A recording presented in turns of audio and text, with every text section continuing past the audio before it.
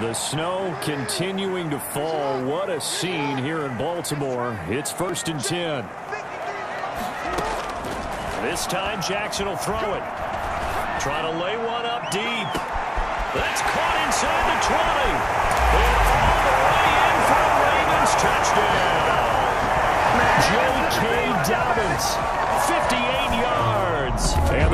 the Ravens are an extra point away from taking the lead here in this AFC Championship game. I think it's fair to say there's nothing that gets a crowd to its feet quite like a big play, and that was something special there. Boy, was he moving. And that's the kind of play where you have to kind of catch your breath afterwards and just give me a second here because when he shifted into high gear, he was an absolute blur out there. No substitute for speed. We talk about that all the time.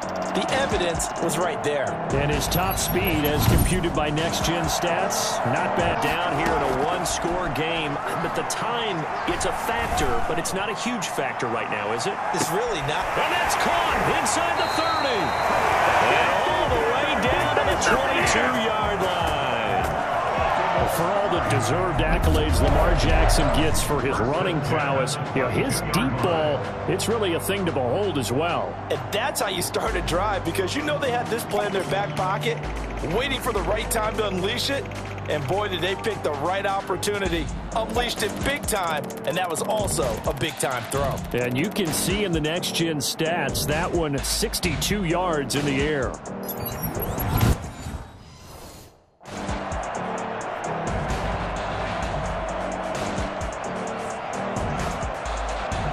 So barely time to catch our breath. Here's first and 10 just outside the red zone. And that is caught on the right sideline, but out of bounds, says the line judge. The throw took him a little too far. It's second down.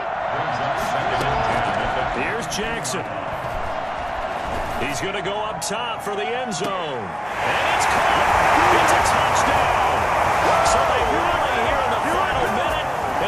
Extra point away from tying this game. And while it appears the heavy lifting was accomplished by scoring the touchdown, they're still down one. That extra point is not a gimme.